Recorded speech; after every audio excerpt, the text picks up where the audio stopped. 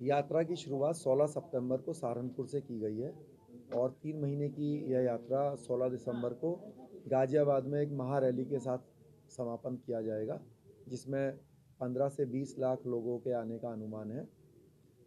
हमारी ये जो यात्रा है किसी जाति या धर्म या किसी राजनीतिक पार्टी के खिलाफ नहीं है।